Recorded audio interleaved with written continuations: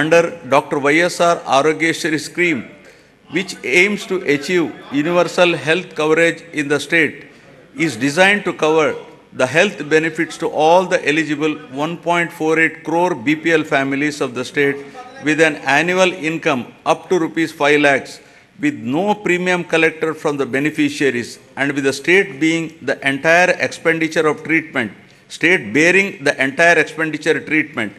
The limit under this scheme has been enhanced recently to rupees 25 lakhs.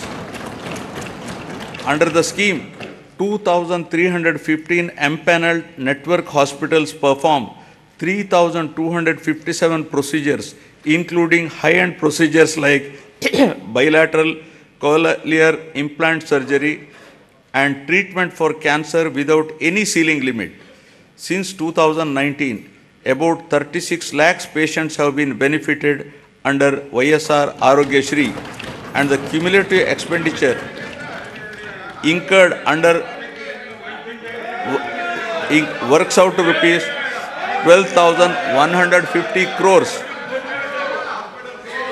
with a view to provide post-procedural sustenance allowance to the patient undergoing treatment under Arogya Shri, an amount at rupees 225 per day, subject to a maximum of rupees 5,000 per month under YSR Arogya Asara scheme will be provided for as many days as prescribed by the doctor. Due to the number of innovative initiatives put in place by my government, there has been noteworthy improvement on the health and nutrition related indicators under goal 3 of the sustainable development indicator. Now about farmers, a backbone of Andhra Pradesh. With about 62% of the population still depending on agriculture and allied sectors, the GSDP contribution from this sector is as high as 36% compared to 18% at the national level. My government has been supporting the farmers in every possible way to lift them from distress and make farming profitable.